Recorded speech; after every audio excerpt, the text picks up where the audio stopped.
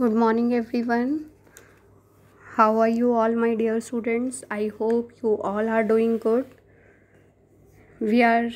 welcome to chemistry class. Now we are on unit 5. We will start unit 5 in chemistry. It is general principles and processes of isolation of elements. Isolation means separation, separate karna, elements जो हैं उनको separate करना and what are the principles use to isolate the elements as we know that there are about hundred eighteen elements known at present out of which ninety two occur in nature and other the rest of the metals they are man made Metals, they are classified into metals, non-metals and semi-metals. These semi-metals, they are also known as metalloids. We know the properties of the metals that metals, they are lustrous, metals are electropositive in nature and they can combine with electronegative elements like carbon, like oxygen, sulfur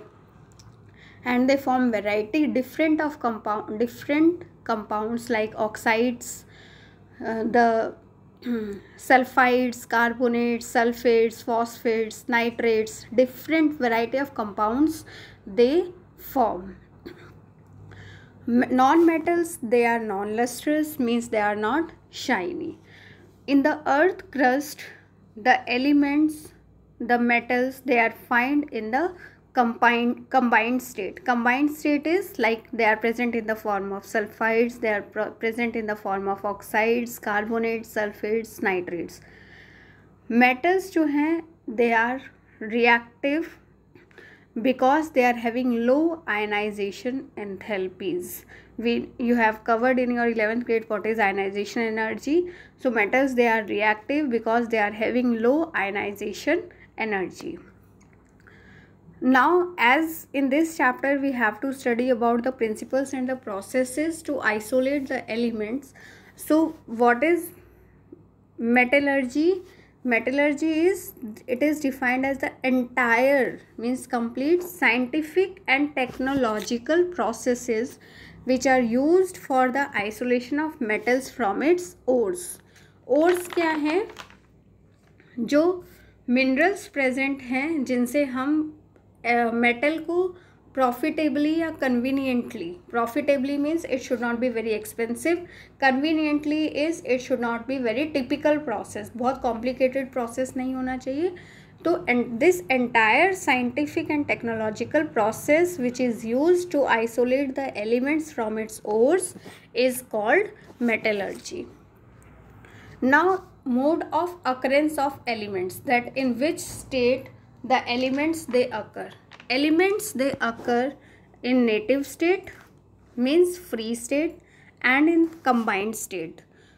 native state में वो elements present होते हैं which are not reactive which do not get attacked by moisture air oxygen carbon dioxide like best example is silver gold platinum osmium rhodium ये जो metals हैं they are they are not attacked by moisture they are noble metals they are not reactive so we call them as they are present they are occur in free state in nature other जो elements हैं they are present in the combined state because they are very reactive they react with other substances and they are present in the combined state as oxides carbonates silicates sulphide sulphates nitrates phosphates etcetera तो जो metals बहुत ज़्यादा react करते हैं which are very reactive they are present in combined state and most of the metals they occur naturally in the crust of earth in the combined state and it is called the mineral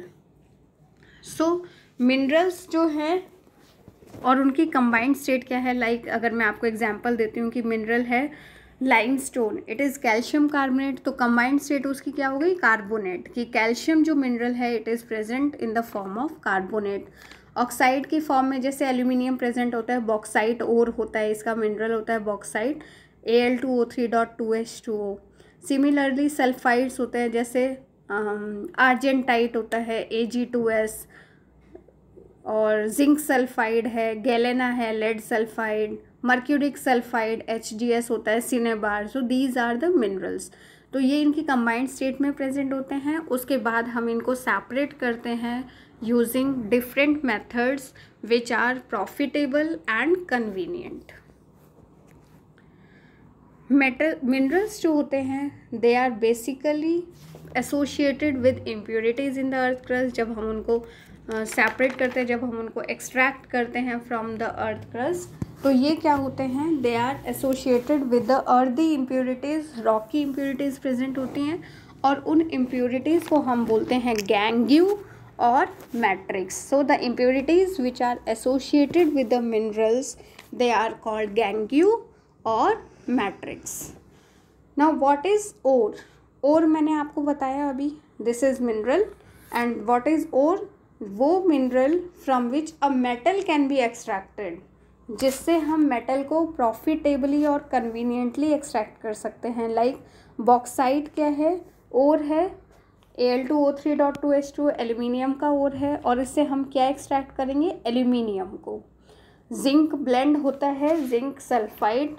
calamine होता है zinc का और zinc carbonate तो इससे हम क्या extract करेंगे zinc extract करेंगे तो इनको हम बोलते हैं ओर कि वो मिनरल मेटल्स के वो minerals from which the metal can be profitably and conveniently extracted is called ore so it is called ore now the important thing is all the ores of a particular metal जितने भी ores हैं metals के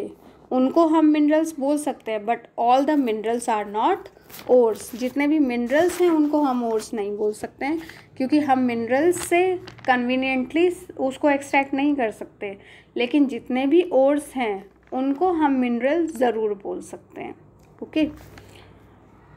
now earth as a source of elements we know elements they are present in the earth crust elements they are present ocean is also a source of elements and the elements are also present in the biological world that is in the body of animals and plants so we'll study one by one now earth has a source of elements we know there are three major layers of the earth it is divided into three parts it is atmosphere hydrosphere and lithosphere atmosphere we know it is a gaseous mixture it surrounds the earth and uh, what is the length what is the length to which it extends it is 60 kilometers from the surface of earth major जो gases present होती हैं इसमें that is nitrogen and oxygen